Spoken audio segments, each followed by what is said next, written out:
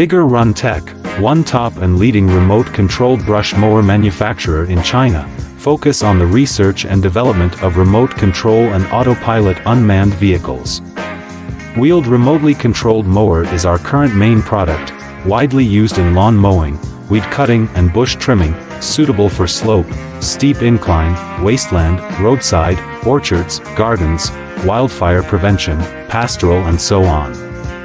The cordless crawler grass trimming machine adopts CE and EPA approved gasoline engine, operated by remote control up to 200 meters long distance, adjustable cutting height, travel speed up to 6 kilometers per hour, rechargeable batteries.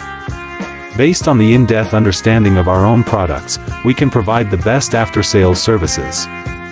We are looking for distributors and dealers all over the world.